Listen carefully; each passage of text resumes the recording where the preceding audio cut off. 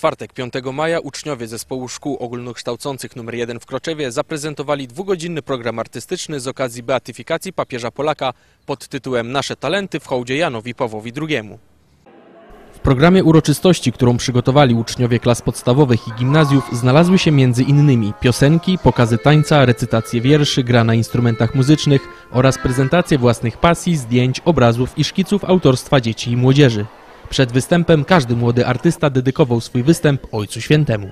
Uroczystość Nasze Talenty w hołdzie Janowi Pawłowi II powstała z kilku powodów. Pierwszy cel to beatyfikacja Jana Pawła II.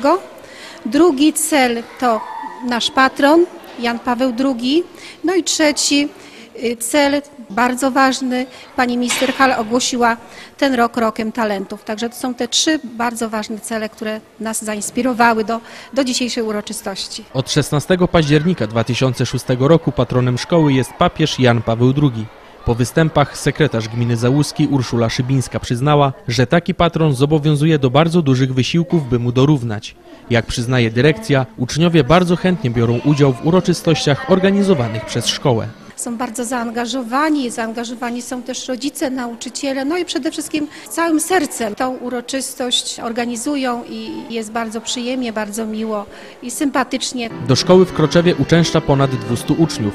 W czwartek na scenie wystąpiło 30.